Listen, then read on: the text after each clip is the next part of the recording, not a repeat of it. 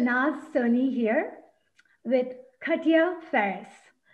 I am very excited today to actually have this um, conversation with my friend Katya on uh, Vedic astrology and how Vedic astrology impacts our life and how it actually differentiates from uh, Western astrology. Uh, but before we go into all of that, I have to say that I met Katya actually five years ago at Aspen Lodge in Colorado, uh, attending a Star Knowledge conference. And um, I was just very amazed by her um, diversity because she is very beautiful and she is extremely intelligent. And she's also a belly dancer and she understands like how uh, sacred geometry is being utilized in all aspect of her life. And especially being a belly dancer, she actually uh, kind of lives it in her moves, in her expression, in her communication. And uh, so, yeah, we basically um, clicked right away as we met. And, um, and we have kept in touch. And I'm very grateful that we have this opportunity to have a conversation and also um, help other people understand uh, what is the, um, you know, what is the um, meaning behind Vedic astrology. So I'm going to ask Katya please go ahead and introduce yourself. Oh, thank you so much, Shehnaz, for having me. It's such a pleasure. And I'm so glad that you're doing this spiritual work now because you're just a natural. Thank you. Thank you're you. welcome. Um, gosh, I, my, the beginning of astrology for me started when I was nine years old. Uh, my mother was one of those really cool hip 70s moms, you know, who was listening. Well, actually, she was a jazz singer. So she was singing Helen Reddy, and she had all of her Linda Goodman's, you know, sun signs and love signs books in the house. And of course, other, you know, classic uh, Western astrology books. And from the age of nine, I was just like a sponge, you know, I couldn't wait to well, after my parents divorced and I would visit her in Oklahoma, I couldn't wait to visit her and get to the bookshelf and just fall down the rabbit hole. And that was about, oh, 30 years, really. I mean, it wasn't until I was about 40 that I um, seriously got into Vedic astrology. And uh, when I was in my 20s, I had a really great friend who um, took me under her wing and taught me a lot of Western astrology. A very beautiful Persian American woman. And um, after, like, you know, a couple years into my teaching with her, suddenly she got into Vedic astrology. And it was like, my whole world, you know, my it was like an identity crisis. And I think this is what happens with a lot of people with Vedic astrology is they we get so attached to our Western sun sign. Because see, you guys, there's you know, we use two different zodiacs. So usually you fall back a sign in your Vedic sign. And so suddenly, you know, um, my happy, fun-loving sun and Sagittarian teacher t- turned into a very brooding and you know dark sun in scorpio and and i just didn't understand. So it took me about 20 years really from the time i learned about it in my 20s until i was about 40 to accept my vedic chart. And understanding the dif- the difference in the two systems took a long time and i finally figured it out and this is this is what i think it is. Your tropical zodiac is what Western astrology uses. This is what everybody knows themselves as. This is when the earth is aligned with the sun. So the axis or the tilt of the earth is taken out of the equation. The earth is put upright, and that makes it aligned with the sun. That is Western astrology. That shows the sunlight of a chart.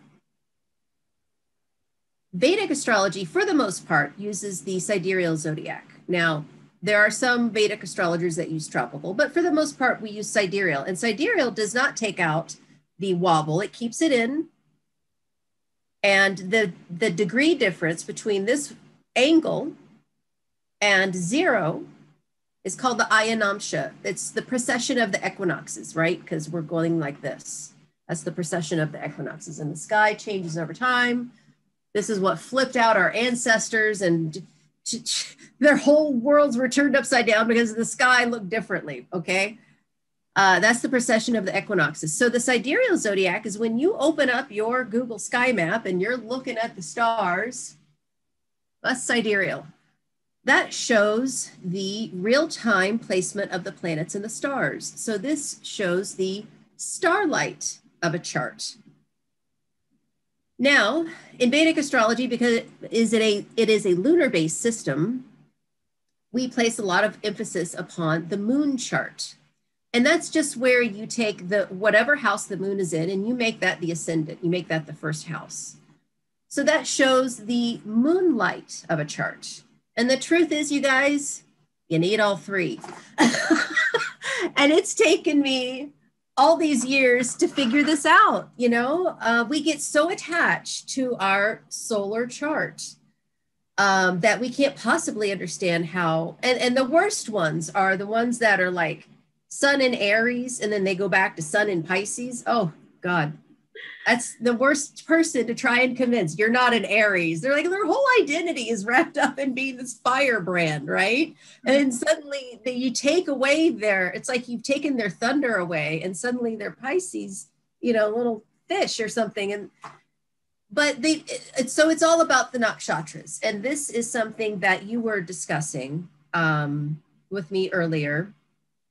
Uh, and um, so my in my understanding you know of all of this what really um, is the star of the vedic system are what are called the lunar mansions or the nakshatras.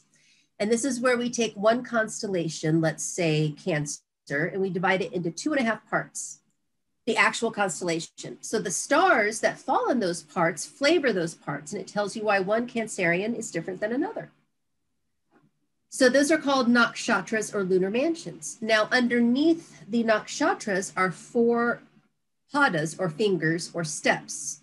And these are the steps of God. These are what takes you around the zodiac. And this is how detail oriented Vedic is. And this is what really drew me to it. Um, and because we are a lunar based system, um, you know, we place more emphasis upon your moon sign than your sun sign. So you are more your moon sign than your sun mm. sign, and you are more your nakshatra, and especially your nakshatra with the pada.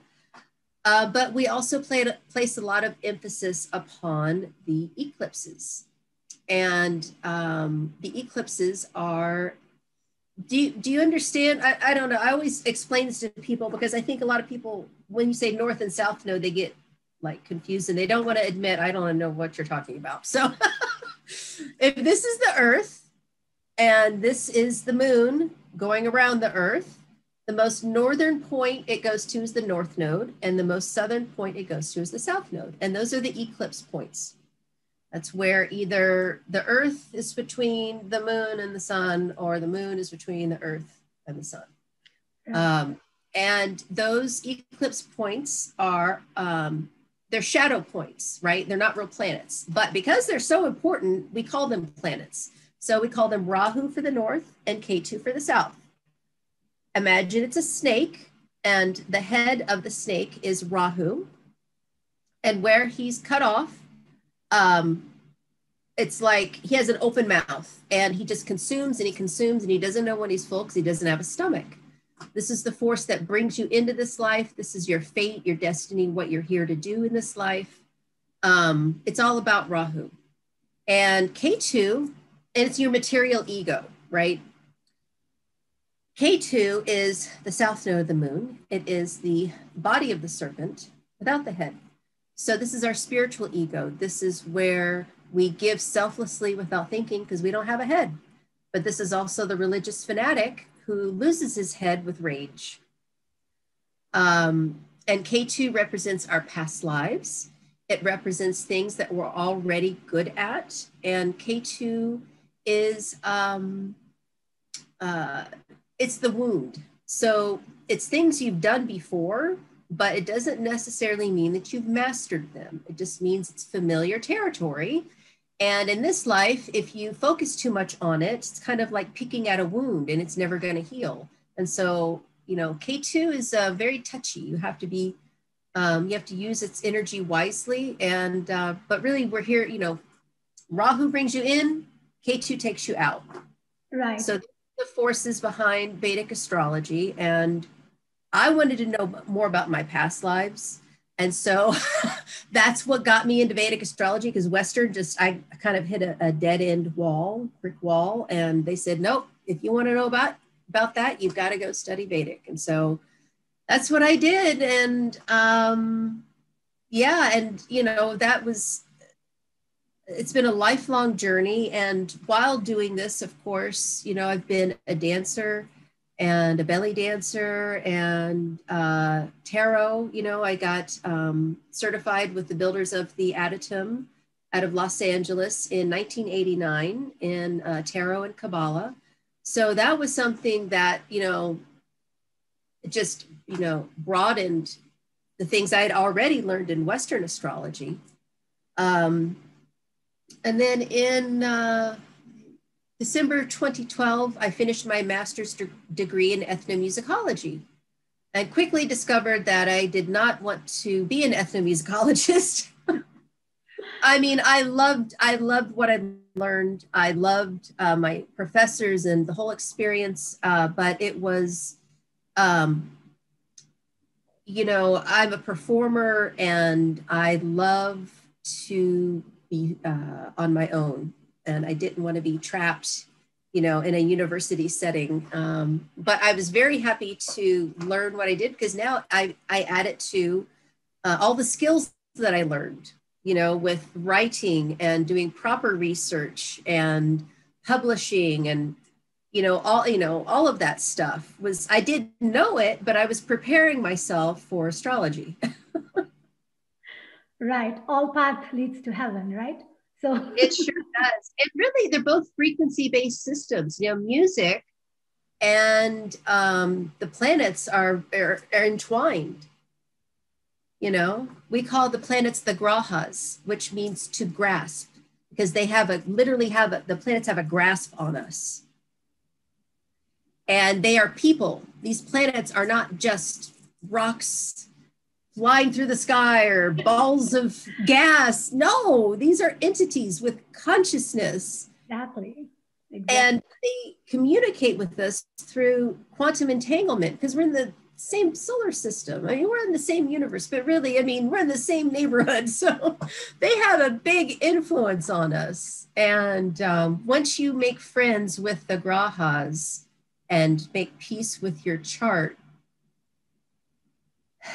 then you start to bust some of those patterns that you're talking about. Right, right. And speaking of the chart, I actually had a, a recent reading with you, and it was very fun for me because, you know, the whole perspective about the whole thing about the karma and the past life, and also just the way the Vedic astrology looks at it in a much more deeper way than the Western astrology. And the very fact that Western astrology came way later than Vedic astrology, and it seems like that they kind of uh, took out some of the important aspect of it.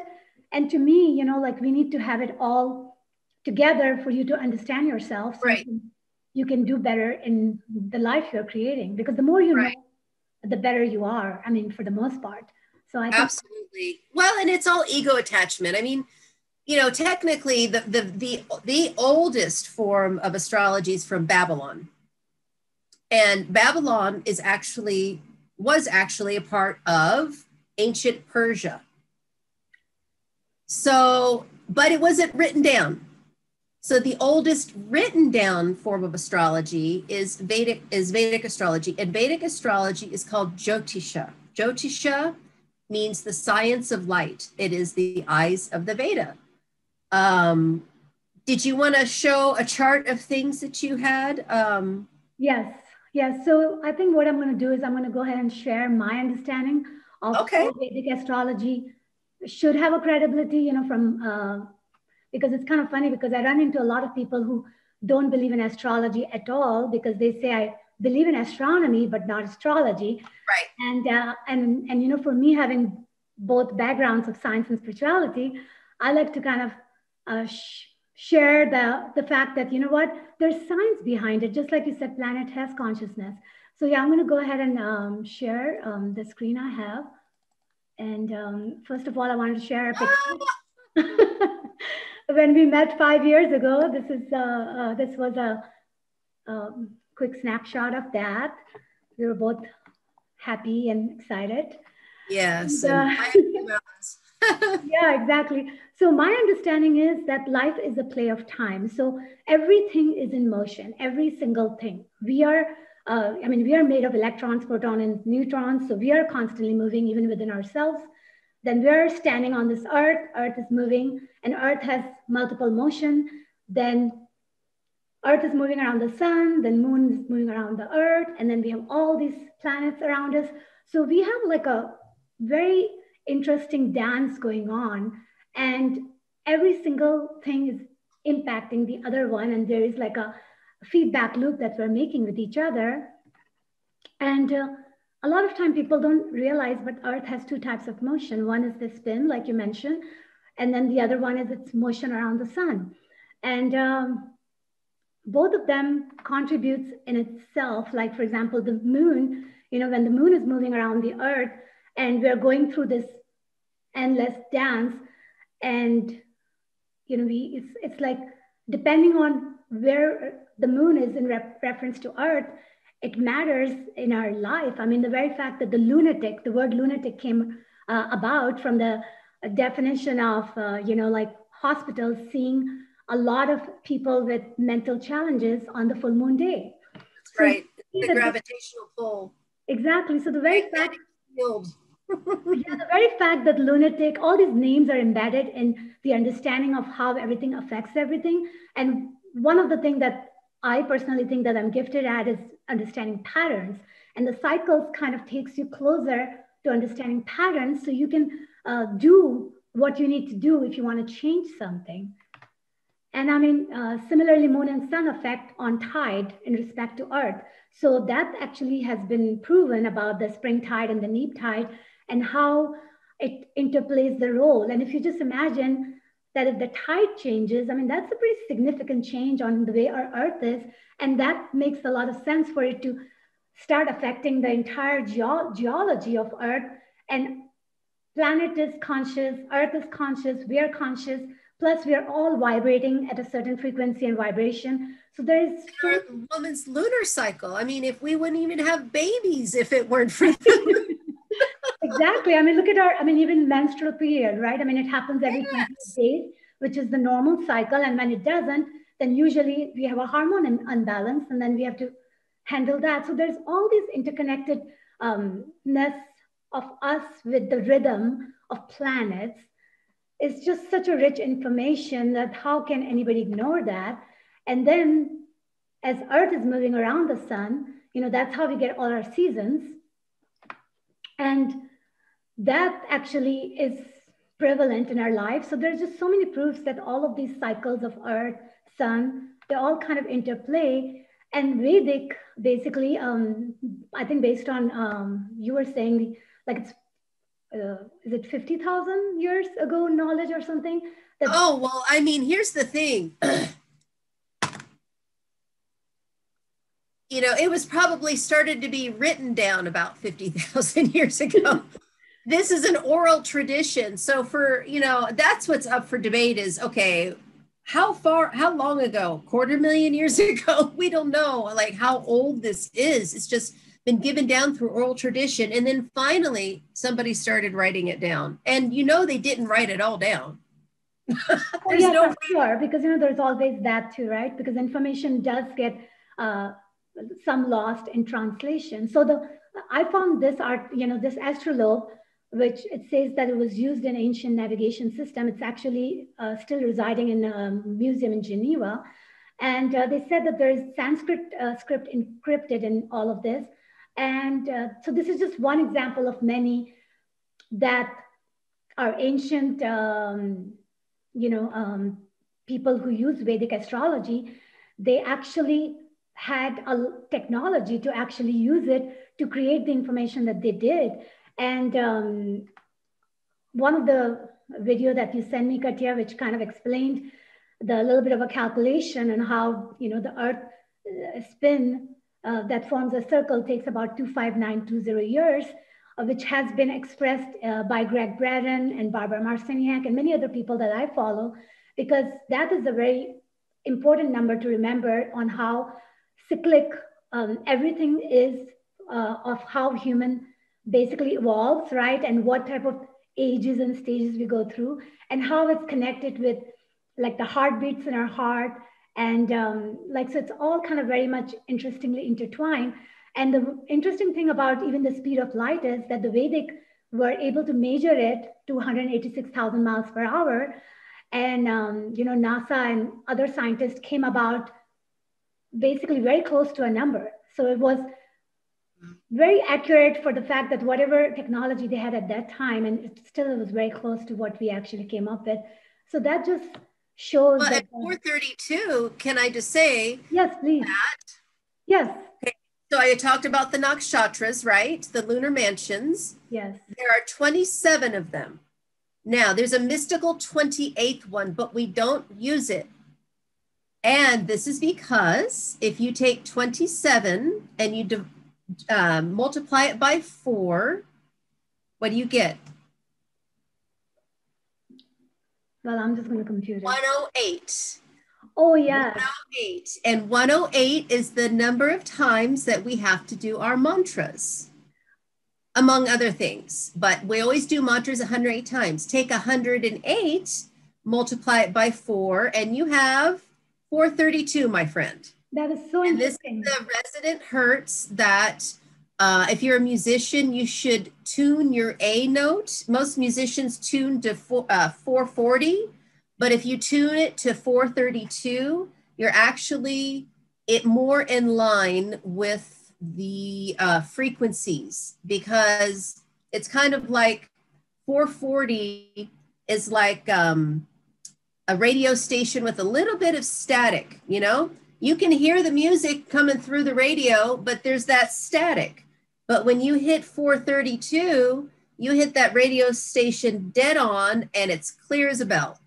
Wow. So isn't that interesting that that 432 hertz actually became more known to us like in a recent, you know, recent time frame. And all these other times we were basically kind of given the frequency of 440 which had a little bit of a static in it. So it's kind of like part of the, like part of everything, right? The numerology plays a very big role in everything. And some of the things have been a little bit tailored according to whatever the mass agenda is to keep us on a different frequency and vibration. So yeah, that's a very, that's a very good point um, you brought up. And actually when you said about 108, because I have a friend, she actually just recently did the whole 108 uh, thing because, you know, 108 is a very powerful number and actually the diameter of the sun and the distance between the sun and the earth um, i think there is a 108 relationship with that and the moon and so forth.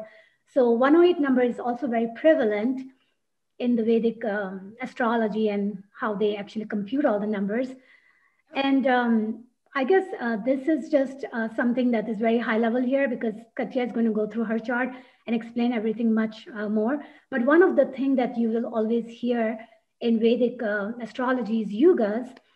And it's kind of interesting because right nowadays they make so many online games, you know, which kind of follows this age, you know, the golden age and the bronze age, like Empire Earth, which I personally played because it's a pretty cool game. So it kind of uh, shows the cycle, the four, uh, the four cycle, right? The Satya, the Yuga, the Treta Yuga, and the Dwapara Yuga. So these are all the four cycles that uh, basically exist and we fall in one of the cycles depending on our earth position with respect to the sun. And that dance is continually in play. And the reason this information becomes so important uh, for anyone and everyone is because depending on where we are um, in the in respect to all this position the ether which is pretty much everywhere it has a different effect on human and how we vibrate and what well, yeah, it's it's more like the highest concentration of ether is at the galactic center. And it's a very, we consider it a very treacherous part of the zodiac. It is at um, about zero degrees Sagittarius, Mula Nakshatra. Mm. Mula means uh, the roots. So it's like that Shiva, you know, creation, destruction kind of energy. Okay. Okay. And the thing about the galactic center is that because it has the highest ether, you know, the here if this is our our little tiny tiny wee little tiny solar system, right?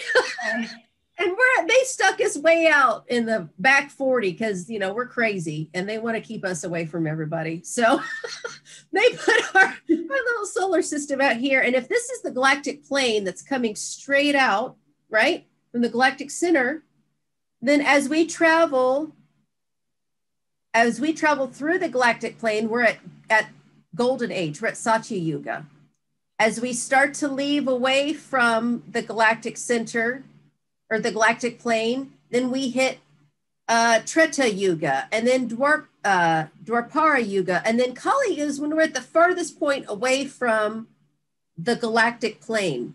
And then it's a sine wave, right? So then we start descending back down, and it does the same thing backwards. And then we hit the, the galactic plane, and then we're here again. And then it's this constant going up and down uh, uh, you know how much ether are we receiving from the galactic center? That's what it's all about.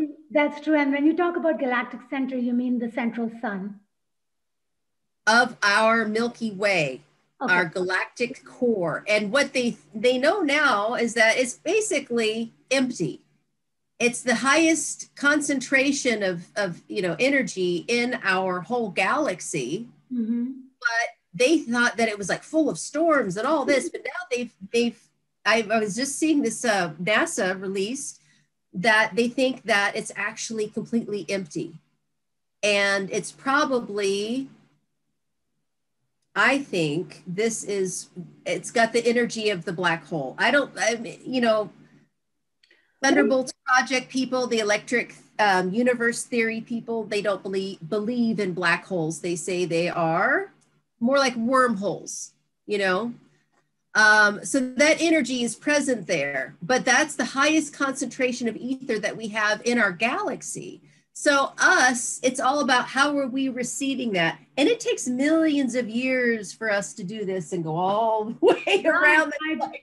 That is true. So speaking of that, Katya, which uh, age are we? Do you know by any chance? Like well, there's two different schools of thought. The traditional school of thought says that we are in the Kali Yuga, and the um, which puts us in relationship to the galactic center.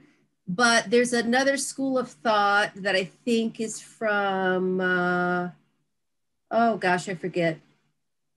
But the second one says that we are actually in Dwarpara, Bronze Age. So either way, it's a pretty low consciousness. And when it's when when we're when we're at really low consciousness, it only takes a little bit of spiritual effort to get great results because it's so dark. So any kind of you know prayer, any kind of spirituality we do during this time will be magnified because it's so dark. Whereas the opposite, when it's the golden age, it takes a lot of spiritual practice because it's it's so spiritual. It takes so much to like become even more spiritual. You know what I mean? Right, right. Because it actually like a telepathy is basically natural if you're if you would be in a golden age. Right. So that's the difference. So I, I think based on the way I see it, uh, Katya, so Kali uh, is iron, which means it's the lowest um, frequency wise, and then it's Dwapara, and then it's Treta Yuga, and then it's Golden, I mean Satya Yuga, right? So that's the that's the way they are kind of evolving. Yeah, you and you see here in the middle, he put descending, ascending. So right. it's going, yeah. Right. So, so if you're in Kali or Dwapara, where I mean, Dwapara is a little bit better than Kali. So I, I guess I don't, I don't mind that we are there because let's just at least uh, fake it till you make it. So one one thing that you mentioned earlier too, and I found this chart, so I wanted to throw this nakshatra, which is like at the heart of this Vedic astrology.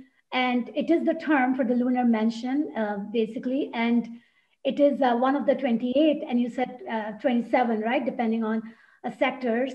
And uh, this. Yeah, I mean, the, the mystical 28th is Abhijit, it belongs to Krishna. Um, and there's stories around it. But basically, if we use 28, I mean, wouldn't have the perfect symmetry. Right.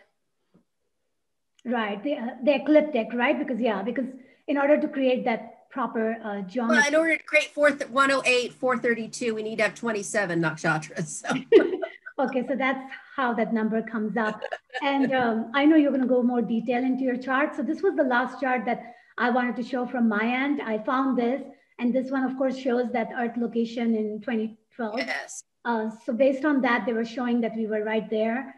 And um, as you can see that. Um, oh, here. Yeah. See, they took us, see those bands, you guys? See, it's like spiral bands. We're like on the third band out. yeah, you're right. So that they're like, keep these crazy people away. We, we basically have a little bit of a way to go for our ascension as we. Well, yeah, I mean, so if we're, I think we're about, see, this is, you know, some people say, oh, the Mayan calendar was us being aligned with the galactic plane. I'm like, I don't think so. I don't think that's what they meant when they were talking about the calendar ended. Right. Um, I think we're about 2,000 years. Let's see, I think it's six 6,000 up, uh, yeah, and 6,000 down. So it's a 12 year, 12,000 year cycle. Okay. 12,000. So I think we're about half, halfway up. So we're like 2,000 years into a six year, 6,000 year cycle, right. I think. But who knows? I mean, my God, this is going to go on and on and on. Everyone thinks it's the end times. Everyone always thinks times, you guys. yeah, exactly. So I think the bottom line of what I was just showing you was that it does matter where Earth is, it does matter where Sun is, it does matter where Moon is, it does matter where we are, and everything. You are here. everything is interconnected, and Vedic astrology kind of gives a little bit of a peek in your life with respect to everything around you. And that's why somebody like you who does the reading would be a good, everybody needs to just get a reading so they can have that information about themselves and then the very fact that everything does affect everything, and even our ascension is very affected by where Earth is and Sun is, we just have to accept the fact that we do have a lot more going on than we understand at all hey, Look, these these charts play out like a book. this is I do Vedic astrology because every time I do somebody's chart, I'm blown away. I mean, it works so well it blows my mind and i'm one of those people that i like to be in that shock and awe all the time really oh dude that's so cool exactly yes yes so yes please Katya, whenever you feel like go ahead and okay, yeah. what you have collected. I mean, when you see how it plays out, I mean, you can't make this stuff up, you guys. It's just, it's absolutely amazing. Um, so I'm going to just, uh, this is a actually a presentation I put together for, excuse me, Gift of Light Expo, which I do, you guys, in Ohio. Um, the spring one I'm not going to do. We had to change the date because of COVID again, uh, and the new date didn't work out for me. So probably I'll be there in November, but she, you know, she might do, I have a feeling she'll do something this summer because um, people are just itching to you know get back into work again. Um, so hopefully we'll have a Gift of Light Expo this summer. But um, I presented this last year, so at the end it does have last year's information, but I'll update it for now because it's pretty easy. Uh, this is my um,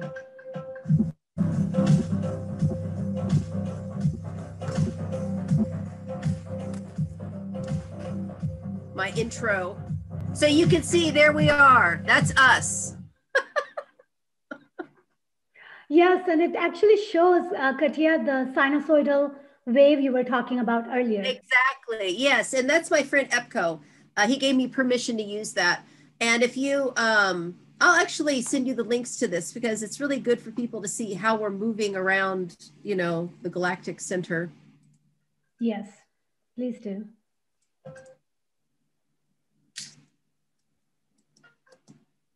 There we go. Okay.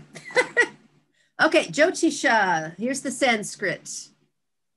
Vedic astrology from India, known as Jyotisha, translates as the science of light. It is a system of knowledge based on the oral tradition called the Vedas. There are four Vedas, and they are the exposition of pure spiritual knowledge. They are the Rig Veda. Uh, Rig Veda is like the main hymns uh, for deities and things like that. The Sama Veda, uh, the Yajur Veda and the Atharva Veda. Atharva Veda is um, like uh, a lot of Ayurvedic remedies, um, you know, things to help you with everyday life. Sama Veda is um, a lot of the uh, the music and talks about frequencies of you know scales and things and how they work. Uh, and then Yajurveda, I think, is more prayer, prayer hymns. It has been passed on as an oral tradition for thousands of years, some say around 50,000 years. Uh, the Rig Veda hymns in the Devanagari, and it's not, my Sanskrit teacher is so funny. He's like, it's not Dave and Gary. I mean, not that we don't like Dave and Gary, but Devanagari, uh, Sanskrit uh, with English translation. So this is just a little bit of expert. I won't play the whole thing. Little excerpt from um, some rishis or priests um, chanting the, the Vedas.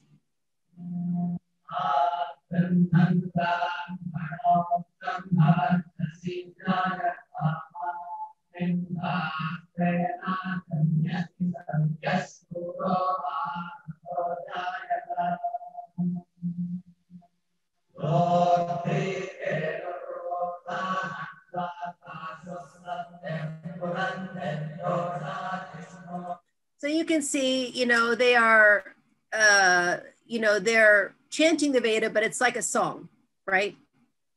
And they're talking about Brahma, they're describing him. Uh, like I said, Rig Veda are basically praise hymns for, for the deities at first. Wow. The Jyotisha are the eyes of the Veda. The functional names of the Vedas are collections of six sciences called Vedangas, which represent different parts of the body of the Vedas. Shiksha is the science of Sanskrit, sounds, and it represents the nose. Kalpa is the science of Vedic rituals, it represents the head. Vyakarana is the science of Sanskrit grammar, and it represents the mouth. Nirukta is the science of Sanskrit etymology and meaning of words, and it represents the ears. Chanda is the science of the rules of chanting the Veda, and it represents the feet. And Jyotisha, the science of astrology, represents the eyes of the Veda. It represents the eyes of the Veda because it helps people to see ahead in time. Jyot means light, and Ish means God. Jyotisha. So as a practicer, you are a Jyotishi. That makes sense. the six branches of Jyotisha. There are six branches of Jyotisha. Gola, or positional astronomy, this uh, calculates the movements of the celestial bodies. Ganita, the mathematical diagnostics of Gola. Jataka, or natal astrology, or Rashi birth chart analysis, that's mainly what I do is, is Jataka. Prashna, or horary astrology, answers the question the moment it is asked. Prashna, I kind of have a love hate relationship with. I think if you rely too much upon prashna, it can kind of be a portal for confusion because everything you need to know is in the transits. And so if you're asking a prashna question, you're asking, um, you pull up a chart of the transits the moment it's asked. And the theory is that the answer is in that chart rather than looking at the person's natal chart and figuring out where transits are on top of that. You know, prashna is kind of like tarot. So sometimes it works and sometimes it doesn't work. Muhurta, this is electional astrology. It selects the best time to do certain activities, such as get married. Right and nimitta. This deals with omens indicating upcoming events. So the way nimitta works is, let's say I'm giving you a reading and we're talking about something really important and then the phone rings. Like right as we say this really important thing and we go, oh, that was a confirmation, yeah, right? right? That's nimitta. And so, you know, really you have to, you have to understand all of these things, you know, to understand Jyotisha. Um, you know, it used to be before software that we had to calculate all of our charts by hand. Wow. All of the math. So you had to understand positional astronomy. You had to understand the math behind finding this stuff. And if you couldn't do those first two things, guess what? You couldn't do astrology. you yeah. had to have somebody else do it for you. So we're so lucky we have software today because I am not a math person. Yeah, you know, yeah. one one of the things you got me thinking was that you know how like a lot of people who don't understand astrology in general they think that that just seems like a voodoo. And when you really look at everything that you're explaining here it makes you realize that they went through so many um, layers and layers to uncover okay. yes you're absolutely right. But here's the thing. What they don't understand is how those things in the sky affect us I have a I have a friend that is a NASA scientist as well. She works at, a, at an observatory, and she got her PhD here at IU. And we used to go round and round about this. I love her dearly, but she's like, I, I'm like, honey, as above, so below. It's yeah. called quantum entanglement. You know, it's you know Einstein called it spooky action at a distance. he, even he couldn't figure it out. Why it, you know when two uh, when a particle is separated, why is this one responding when this one? How do they have that communication? It's the magnetic field. We are in the same magnetic bubble. Our whole solar system is in the same magnetic bubble. Right. So, how could we not affect each other? And this is also, though, my argument for why I think we need to include the outer planets. Because Western astrology, I mean, I'm sorry, Vedic astrology traditionally does not use the outer planets because their thinking was that um, it's only what we can see in the sky that affects us. But after using the outer planets in Western astrology, I know they work. I know they work. And my thinking is that it's because it's a we're it's a uh, our solar system works holistically right and when you kind of rely on what you can see in the sky then you're very much limited because what you can see in the sky depends on the technology and depends on your electromagnetic spectrum. So that is a very limited way of thinking. And yeah, well, yeah.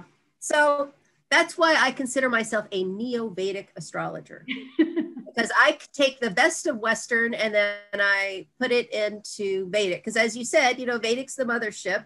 Western astrology is about 10% of Vedic. So, yeah. you know, you got to learn the whole thing, you know? Right. Okay, so here we go. The difference between Western and Vedic astrology.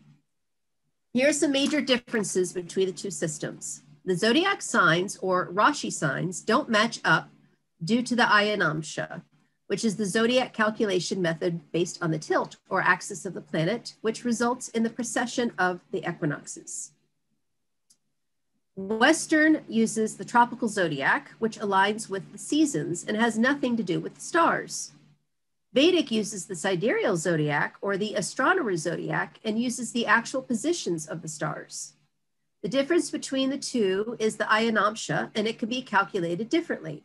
I use the Lahiri. It's the most common. A lot of people use Chitrapaksha as well, but so this just gives you a visualization. So this is us, right? Flying through space. We're tilted here, right? Mm-hmm. So the difference between here and here, well, they here it says 23 and a half. We're actually Lahiri now is at 24 degrees, eight minutes is where we're the difference between the two systems right now. And it's going to keep going backwards. It's going to keep going, it's going to keep widening.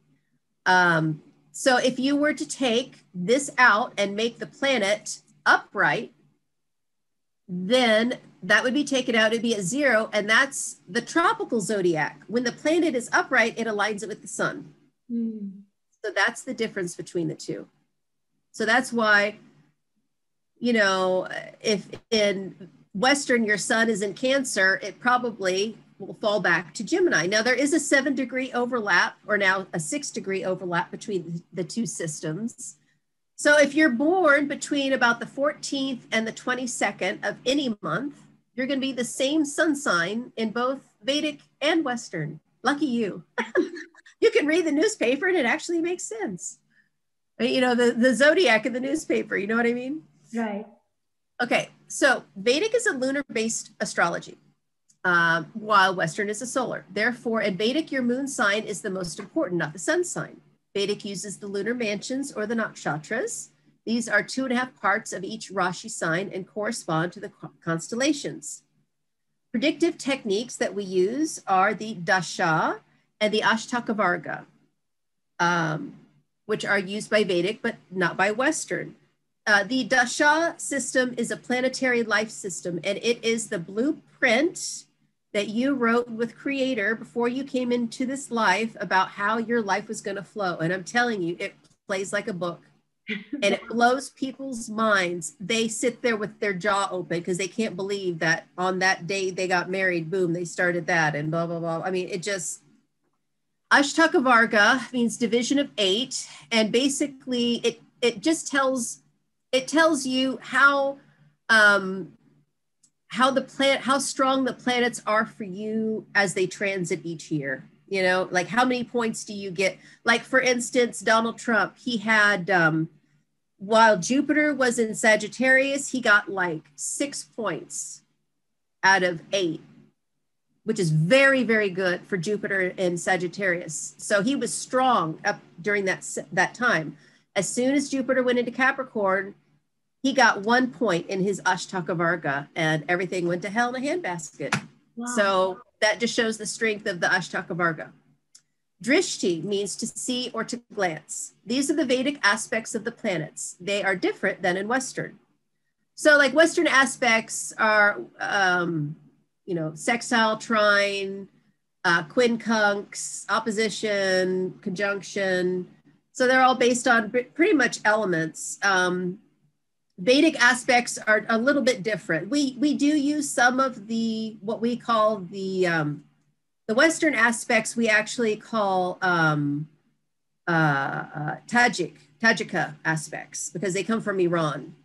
They're Persian aspects, and actually uh, Western, as we know it, really came from Iran because it was a solar solar based system, and and the ancient uh, Persians were um, Zoroastrians they were very concerned about the sun. and so, so when you know Alexander the Great came to Iran and conquered it, and he didn't just burn down Persepolis, he also burned down Persian astrology because he took back a lot of that knowledge and took it to Greece, and then Ptolemy kind of ran with it, and that became Western. So yeah, we have a lot, lot of uh, things to are are uh, due to the ancient Persians. So those are the drish, the aspects. Uh, yogas or planetary combinations are different than in Western. Western. So there are certain combinations of um, like a Lakshmi yoga, you know, um, Venus in her own sign, first house strong, ninth house strong. Some say it has to be a Kendra trikona. I don't agree. So the a yoga is like has has different names, different planetary combination. Uh, Raj yoga, for instance. Grahas, this is to grasp. In Vedic, these are the planets and they have consciousness. The planets are enlightened beings, not just rocks or balls of gas in the sky. So, so when we say a graha, remedial measure, that means that we're doing something like a mantra or a gemstone or something to make that planet better in our chart yeah. So get used to the word graha. We uh, I, we throw it around and i forget a lot of people don't know what we're talking about. So the lunar mansion. So this is the picture of the lunar mansions. Um you know if you look closely you can see like this is the constellation of aries. And in aries we have ashwini bharani kritika. Um and they're the different stars that go with them. The star that goes with kritika uh, is the pleiades Wow. So if you think you're Pleiadian, you probably have something in Kritika. uh, Pisces, uh, Purva Bhadrapada, Uttara Bhadrapada, Bhadrapada uh, Revati. And so you see there's three for each one. And we say two and a half because uh, the way it's divided up is two equal portions and then one that is split between two signs. So there are a few that that um, that span two signs, like um, Uttara, where did it go? Here. Uttara Phalguni spans both Leo and Virgo. Chitra spans both um, Virgo and Libra. So it's very, it's just, it. I love studying the stars. I'm just, to me, this is where it's at because before the 12 zodiac signs, there were the 27 nakshatras before the 27 nakshatras, because you gotta you gotta realize these are all lined up on the ecliptic, right? Right. They're lined up on the path that the planets follow. But there are all these other stars that are off the ecliptic. Yeah. And I think they matter too. And so do the Arabs. And that just happens to be the language that I studied when I was in ethnomusicology. I took two years of Arabic. I can read and write it. And so when I'm reading about all of the other stars that are off the ecliptic, it makes so much sense to me. That's amazing. Yeah. So that to me, it's it's really all about the stars and it's about observation. And you know, like we were saying before, it's not about um, anthropomorphizing the sky or superimposing human stories onto the sky. Yes, of course, we're using that as a basis, but it's it's about observation. So, you know, like the ancients noticed, gee, in April, when the Pleiades is overhead at night, at least in north in the northern hemisphere, like Europe, uh, it's raining all the time. So they associate crying and rain with Pleiades, with Kritika. Mm-hmm. And Kritika, the myth of that is about Kartikeya. Kartikeya is the son of Shiva and Parvati, and he um, was a was wounded, and the seven sisters of the Pleiades took care of him, but their father accused them of adultery. And so they wept and cried because they knew that it wasn't true. And so those stories and myths are all, you know, it's all about the deity of the nakshatra and the story. And so that's how these things came to be. It wasn't that we just randomly named things, you know, they, things were happening when they saw those stars. They meant something. They knew when uh, the star Antares, you know, which is um, and it's down here in Jyeshtha. It's the star of Jyeshtha. Um, when that star, and then the star that goes with um, Rohini, Aldebaran, when those were prominent in war leaders' charts, they knew that uh, who was going to win and who was going to lose, because whoever had Aldebaran was the winner. So they used these things. You see, they knew how they operated. So I, I it's like the universe was speaking to us, not that we were forcing our theory onto it. I think that's important for people to understand. Right. And then this is just a picture of the nakshatras with um, the pictures. Right. Um, and so, like I said, I do Neo Vedic astrology. So, Vedic only uses visible planets. The outer planets, Uranus, Neptune, and Pluto, and the comets, such as Chiron, are not used. Neo Vedic uses them. The nodes of the moon are used differently in Vedic. The north node is called Rahu and the south node is called Ketu. They are considered planets, but they are really shadow points and re reveal to us hidden things. So when the eclipses happen, they always reveal things that were in the shadow previously. The Vargas, these are the divisional or harmonic charts in Vedic. And this is where it gets really cool. This is where each house is opened up and there are 60 charts. So you have your basic birth chart, right? That's that's that's called D1. Underneath D1 there are 60 charts. I tell you all these different things about yourself. Wow. Uh, the most important divisional chart besides the D1 birth chart is the D9, as this shows the spouse of the individual, but also who the person becomes. Isn't it interesting that the person we grow to be is what we attract in a mate? Right. So that means the law of attraction, that's exactly what the concept right. behind law of attraction is, which but is. But also, you know, in antiquity, you married young and you stayed with that person your whole life. So you grew to be like each other as you aged. Right. So that was also part of the theory as to why, you know, you become your D9 chart, you become your spouse's chart because yeah. you become your spouse after you're with them. and it's funny, Katya, I've noticed that some spouse who are together for a very long time, they start looking like each other too. it's kind of amazing, right? Not just that yes. they, right. It's, it's I mean, absolutely. That's precisely the idea. And it's a classic example of how everything affects everything. Yes. Now, the Upaya Graha Shanti remedial astrology. Vedic prescribes different treatments for afflicted planets. Gemstones and mantras are prescribed, but there are also sorts of various rituals you can do for any life problem. So this is a great time for me to announce that I have a new product coming out, uh, and they are uh, Graha Remedial Elixirs. Hmm. And what I've done is I put together, because um, I, you know, I've been working with essential oils for a long time um, and fragrance as well. And I've studied what is good for each planet. So I'm making um, an elixir that's like a water-based elixir, and then I'm making an oil-based one that's you know for massage or perfume or something. And I've made it so that um, it is um, helping to rectify, or not rectify, but to improve that planet. So like if you have, um, if you have Mars debilitated, you have the inability to relax. And so um, the Mars elixirs help you to grapple Mars and to help him to relax and to bring out his best qualities. Very cool. So this will be coming out uh, probably in the next, or really in the next week, next next two weeks. I'm going to give myself a little bit extra time, but in about two weeks, let's say. so check my website because my those products will be coming out, and then also I have um, my friend um, Sherry Lynn, who does the um, Cosmic Healing Discs.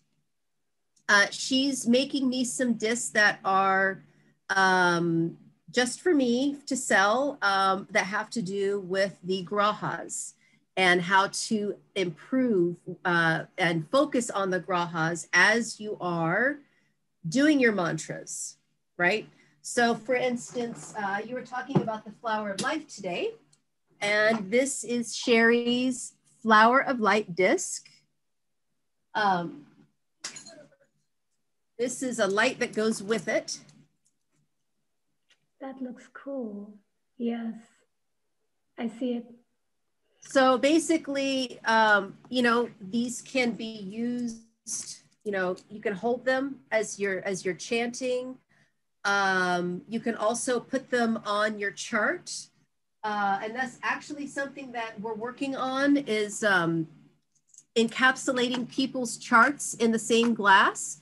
And that way you have your chart preserved and then you can put the different discs on the different um, houses that you have afflicted, you know, to rest. And then while you're doing your mantras, you can take them off.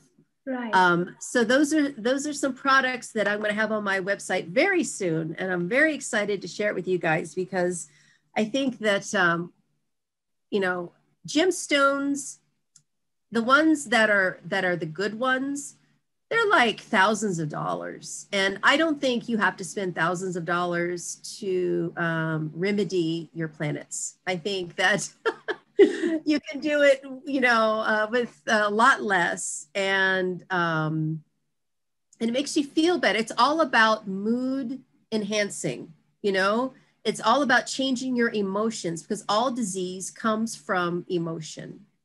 Okay, so this was last year actually. Um, this is about Shani, but I wanted to show you. Um, what's going on for um, this year. Because right now, you know, we had that Saturn um, Jupiter conjunction, which was December 21st of last year. And um, now Saturn is uh, in Shravana. So you see these are the nakshatras of Saturn. I mean, of um, Capricorn and Aquarius. Right now, Saturn uh, just left Uttarashada. He's in Shravana now. And he just was conjunct the sun. Um, and uh, Jupiter's in Shravana now. So actually, actually what I'm gonna do is I'm gonna stop this share and I'm gonna show you on the software what's going on. So here we are. So this is today. Okay, so that's exactly right now where all the planets are. so you can see, you know, the exact conjunction of Jupiter and, and Saturn was uh, December 21st, but you can see they're still together. They're going to be together for a while. Sun is there now. when Sun and Saturn come together, that's like um, really low self esteem. It's a lot of pressure, you know. Um, Sun is the superstar of our solar system. So he puts everybody in his shadow, you know. Mm-hmm. Uh, Saturn already is a dark planet. He already has low self esteem. So when he's in Sun's shadow, he really feels. Um, so if you're feeling depressed, the, like yes, especially yesterday, today, it's not just you, it's everybody right now. Um, so just, I just, when I start to feel that way, you know, do your mantras. Do your mantras. And I, I have uh, the you know channels that I like to look at on YouTube that have beautiful videos that go with the mantras, and it's like music, and you know it doesn't feel like a chore. You know, just just feels like you're um, singing. No, this and that's what I love about mantras because I love to sing. Um, but yeah, and then you know Saturn just went into the United States. Um, second house. Let me open this up. The United States chart.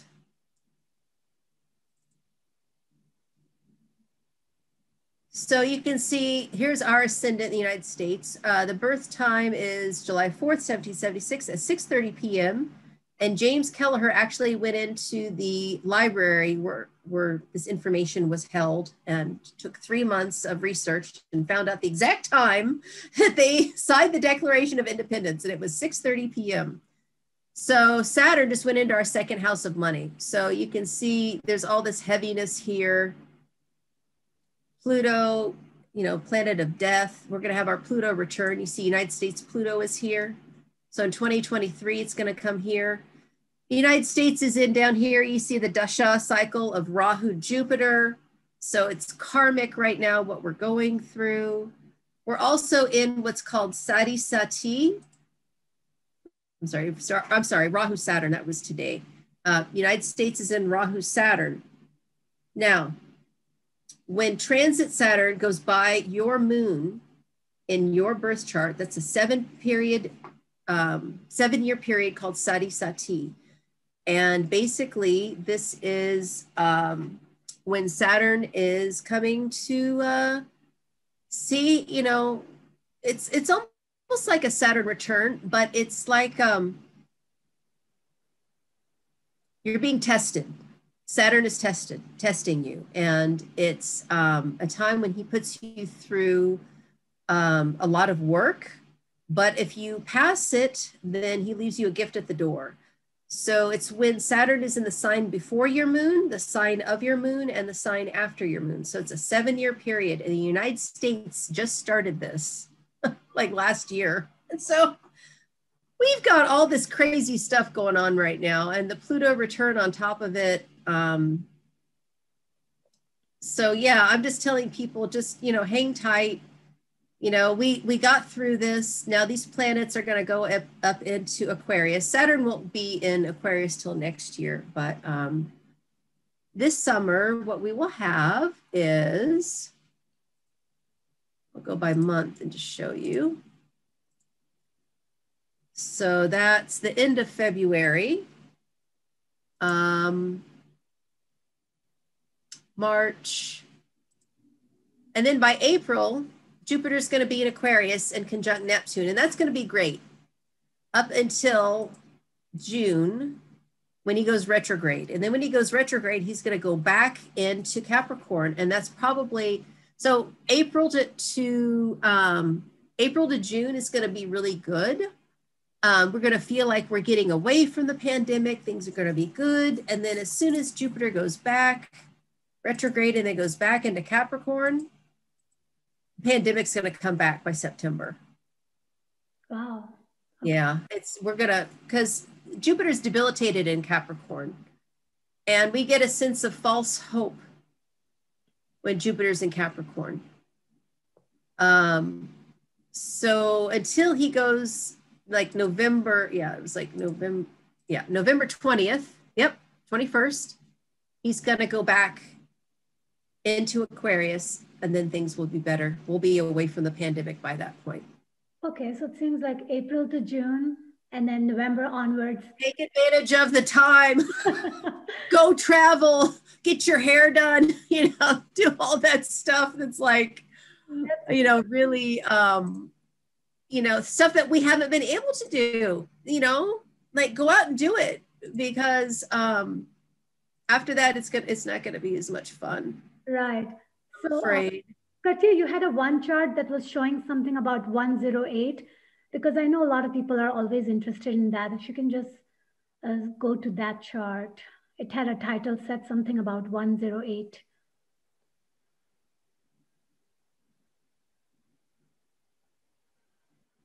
But I combined my intro to Vedic astrology with the Saturn. Oh, you know what it was? It was it was a mantra. Oh, yeah, it was just a mantra. Yeah, it was a Saturn mantra, was all it was. Oh, okay, got all of the mantras you should do 108 times. Now, that doesn't mean that you have to sit and laboriously chant it and be miserable. No. That's the beautiful thing about the grahas and the deities. They're very actually forgiving. Even if you just chant a couple lines, they're like, oh, good job.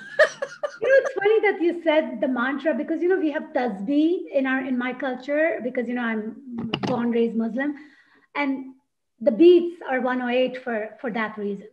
So oh my gosh, it's all embedded in everything. That's the that's the thing that I am understanding now. As much as I go deep dive, then I start it's seeing science. It's in nature. You know what I mean? It's not even just a religious thing, right? Yes. Um, so so this is was from last year 2021 january 13th saturn transits the cusp of the us second house that just happened.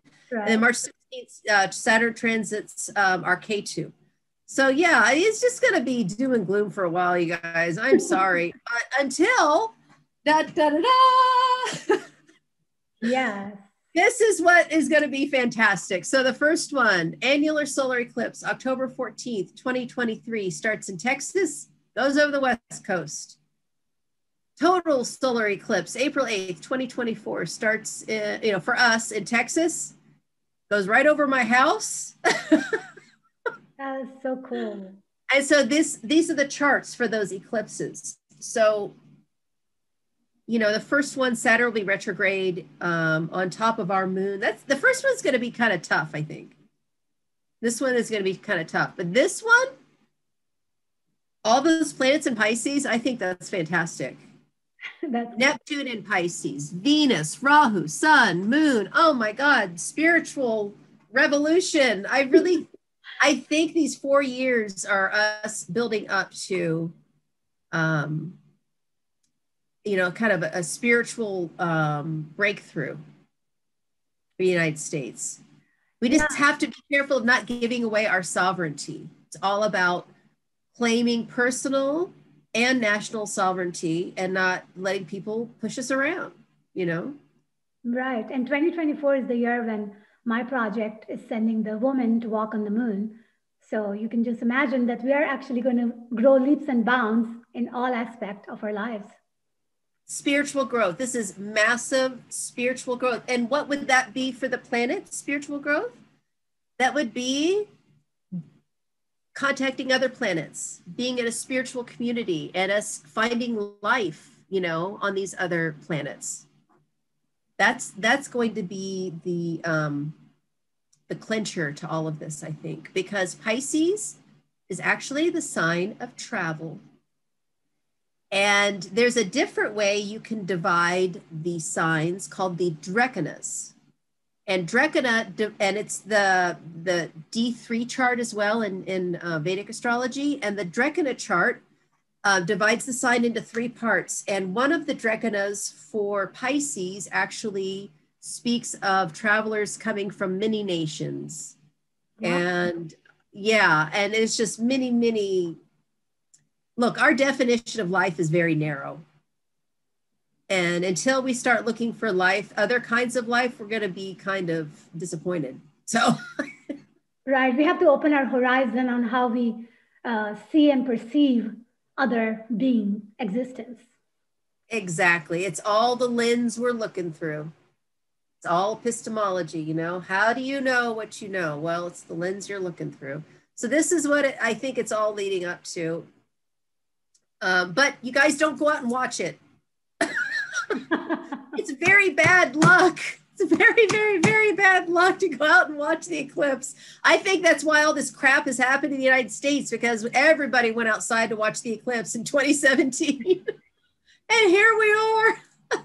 so don't look at it.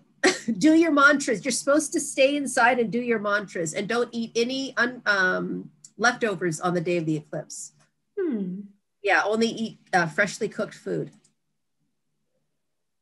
Yeah. That should be the case all the time, right? Yeah. Yeah.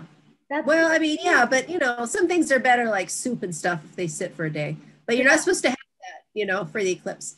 So if you want to book a reading with me, just go to uh, HindustanAstrology.com and just click on the um, consultation tab that's at the top. Um, and you just want to go to the first time reading, which is the birth chart reading. Uh, but it should all be on there. And, um, and of course, I'm, I'm, not on Facebook, but I am on Instagram under Hindustan Astrology, and I'm on Pinterest as well, uh, and on LinkedIn too. So you can always find me there. Wow, that's amazing. That was so informative and so interesting that how much, you know, you have to understand to come up with some, you know, come up with the reading, right, for your clients. And the very fact that you're so, I mean, this is like part of your existence, like the way you understand it, the way you live it, the way you explain it. So coming to you for the reading like that is like you are you are the right person, uh, you know, knowledge wise and understanding wise and living wise. And I think everybody should get a yearly reading. I mean, that would be my thing because that way you just have a little bit of a forecast about your life and you kind of have an idea. Just like you said for example that you know if, we, if anybody was feeling bad yesterday for example then there was a good reason for it. So it just helps you kind of make sense out of things. Absolutely. And then when you see how affected you are and you, then you it's like well that's i felt that because i'm sensitive you know? That's a good thing. Right right. Because i've already noticed whenever the weather is like really like overshadowed then i feel it like I feel differently, right? So I can you start seeing your own personal patterns. But I think when people like our ancestor who has done this incredible amount of work, right, to make us to give us some sense in our life. I mean, I think that people need to start availing that rather than the media and other sources that completely distracts us and sometimes even uh, compromises us in a way that we are no longer functioning at the higher frequency and the higher vibration. So yeah, no, I think what you, that was amazing. And um, what I'm going to do is I'm going to put down the links for everyone to access you. You've already mentioned everything else. Um, is there anything else you would like to say before we say goodbye?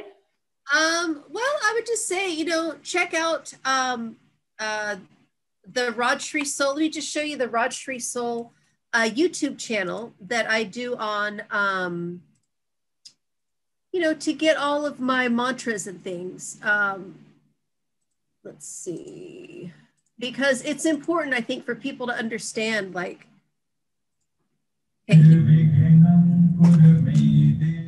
this is uh, one of the ones for Ganesh. So what I do, um, this is my favorite channel. This is the one like my go-to channel. Okay. So I go to Rajshri Soul. I go to playlists. Uh, they have different, this is all of them, but you know, they have different ones. Um, and you can see like, um, that's Diwali. That's a Ganesh. Um, another Ganesh. So uh, yeah, Ganesh. So this is the one that I like the best. And so let's see. I can get a good one going. And what the way I do this is I get up in the morning, I take care of the dogs, take my medicine, blah, blah, blah. I get my coffee, check my email, and I turn on my mantras, you know? And this is my way of um, clearing my head. It cleans your house out. And let me tell you, you cannot, you cannot be depressed and do your mantras at the same time. it's impossible. So if you're feeling depression That's because you're not doing your mantras or you're not doing your prayers, you know, and whatever, if you are a strict Muslim, do your Islamic prayers. You cannot be depressed and do your prayers at the same time. The two frequencies can't exist in the same moment. And so these songs get into you. And why would you do Ganesh? Well, you would do Ganesh. Um, Ganesh is associated with uh, Uttara Ashada Nakshatra and Capricorn, and he's associated with Ketu. You have afflictions there in your chart, you would want um, Ganesh. You always do Ganesh first. Um, if you have, you know, like I said, Mars debilitated, you want to do um, either, you know, things for Mars or the sign that Mars is in, which is Cancer. So Chandra, the moon. Um, you know, which ones you do for each um, planet, you know, really it depends on your own ear. And so that's why I want, I don't want to just say, okay, you have to do this one and you have to do that one. No, I want you to go to a channel, I want you to listen to it like music. And then you find, oh gosh, that sounds so good to me. I wonder why that's, I must need that. It's medicine. And so when I, you know, because a lot of people say, oh, don't prescribe mantras to Americans, they won't do them. right. So because you know what? They will do them if you if you approach it like that, you know, and say, just listen to it. Just listen to it. You don't have to do every single word. It's not a chore yeah you you actually will know which one vibrates with you because you know we have our we have our unique tone and there is certain things that resonates with us and that actually applies to all the music because there's a reason certain people like certain music and certain people may not even like the exact you know i mean even if it's a couple they always sometimes have because we all are different. We all have different tones and we have different way uh, and also we are also within ourselves we're in a different mood within 24 hours a day. So sometimes exactly the very thing you like, you may not like the other time. So it's very interesting how it's all intertwined. And uh, yeah, so I think that it's pretty amazing. So what you were showing just now to everyone was that if they want to get some free mantras, access to free mantras, that is a very good one-stop shop where they can go and check it out. And they can even make that as part of their daily rituals if they want, because absolutely it would help them with, uh, you know, with just the very fact that everything affects everything. And this these are designed specifically keeping yes that's the beauty of the vedas is that you know these priests knew thousands of years ago what frequency what went with which planet. And so we don't have to figure that out. All we have to do is do the mantra. So i mean that's the beauty of it. It's like thank you. Yeah that's pretty amazing. That that's very amazing. So well thank you katya for all of this education training um, enlightenment um, and also giving us like a forecast on the United States of America, so everybody can have a little idea. Especially people are a little concerned about this year, so I think it seems like we do have a light at the end of the tunnel, and it's not going to be that far off. We just have to hang tight and just know ourselves, and maybe uh, avail the reading with you so they can have a little bit of idea about their unique situation this year, and so forth. So I think I'm very excited about all of this being shared. And um, well, I wish everybody a very good night or evening or afternoon, wherever you are or whenever you're listening. And thank, thank you so much. thank you. much.